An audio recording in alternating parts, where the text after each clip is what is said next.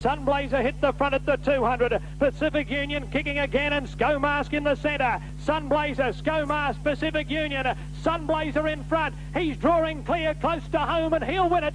Sunblazer. Sunblazer has won from Skomask. Third a photo. Academia.